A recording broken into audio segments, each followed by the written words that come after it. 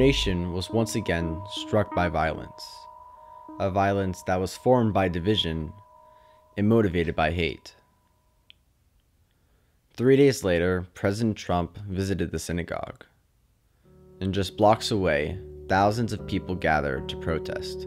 President Trump, you are not welcome in Pittsburgh until you stop targeting and endangering all minorities. How can we fight division in a country that is divided?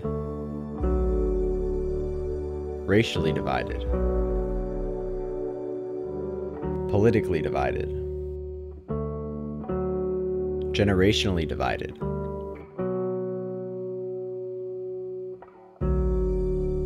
Systemically divided. Ethnically divided. I am a born and raised Squirrel Hill Jew. I go to Temple Sinai up the street. I was a youth group president. And of course, divided by a president. Yeah, he's here, and it's ridiculous. You know, like the city didn't want him. Petitions were out there. Clearly, the community does not want him to be here.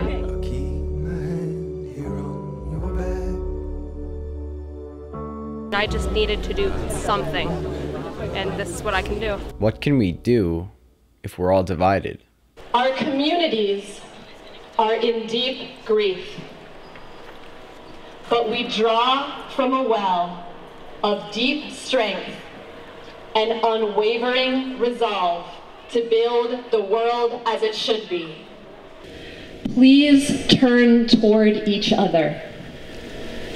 Face each other. Simply witness each other's grief and each other's strength. Baruch atah Adonai Eloheinu melech haolam dayan ha'emet.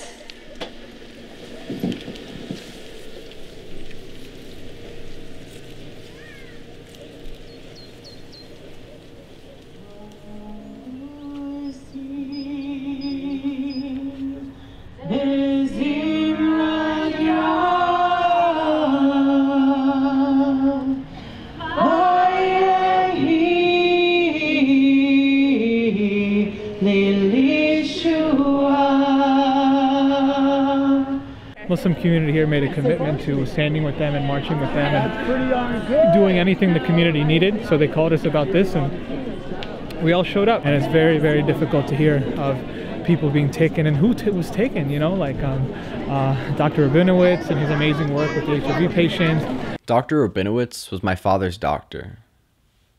I was born in Pittsburgh and grew up in Squirrel Hill. My family belonged to Tree of Life, and both of my sisters celebrated their bat mitzvahs there. I'm telling this story because this is part of my story. This is my city, my community, and my synagogue. A beautiful way coming together. The solidarity was amazing to see. The love was amazing to see, and um, really shows you, you know, wow, Pittsburgh is a very special place in the world. Maybe a divided people do not wish to stay divided.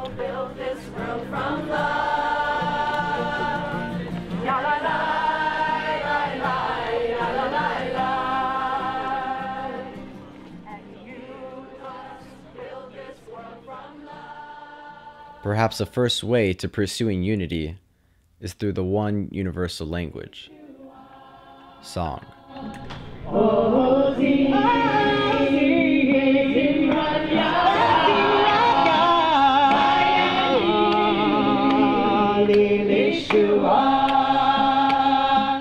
Every story has a beginning, middle, and an end. And the end to this story will only come when we choose to forget about what divides us and focus on the strength and love that comes with being united.